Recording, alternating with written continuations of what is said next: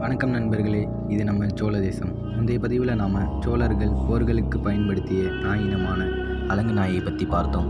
அந்த காணொலியை பார்க்காதவங்க கீழே டிஸ்கிரிப்ஷனில் லிங்க் இருக்குது பார்த்துக்கோங்க. வாங்க இப்போ இந்த காணொலிக்குள்ளே போகலாம்.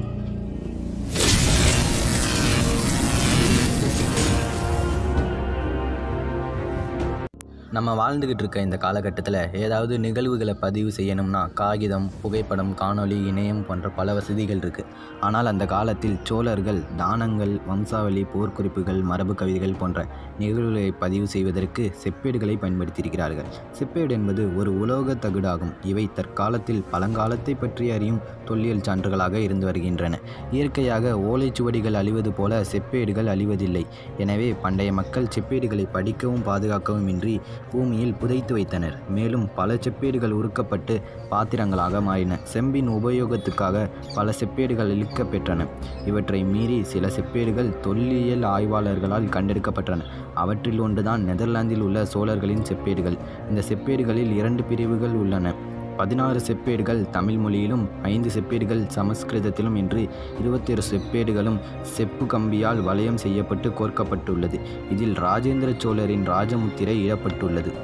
கோரமண்டல கடற்கரையில் உள்ள துறைமுக நகரமான நாகப்பட்டினத்தில் ஸ்ரீவிஜயாவின் மலாய் மன்னரால் கட்டப்பட்ட சூடாமணி விகாரம் எனப்படும் புத்த ஆலயத்தை கட்ட உதவியதுடன் ஆனைமங்கலத்தின் எல்லையில் உள்ள இருபத்தாறு கிராமங்களை சூடாமணி விகாரத்துக்கு முதலாம் ராஜராஜ சோழன் நன்கொடையாக அளித்தார். இதனை இவரது மகன் கடாரம் கொண்ட ராஜேந்திர சோழன் தன் தந்தையின் அறக்கட்டளையை போற்றும் வகையில் செப்பேடுகளில் பதிவு செய்து இருக்கிறார்.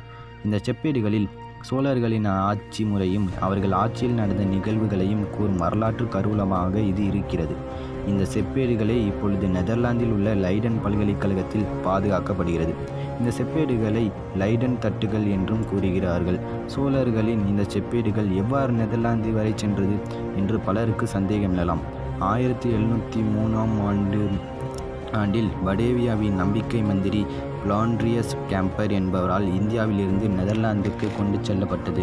அவருக்கு பின் வந்த அவரது வாரிசுகள் ஆயிரத்தி எண்ணூற்றி அறுபத்தி இரண்டாம் ஆண்டு பேராசிரியர் ஹென்ரிக் அரேன் ஹமாக்கர் தோட்டத்திற்கு இந்த செப்புத் தகடுகளை நன்கொடையாக வழங்கப்பட்டதாக ஆதாரம் கூறுகிறது.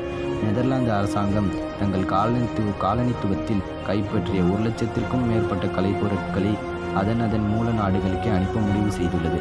ஆனால் இந்த செப்பீடுகளை திருப்பி அனுப்புவதற்கான வழக்கு தெளிவாக இல்லை.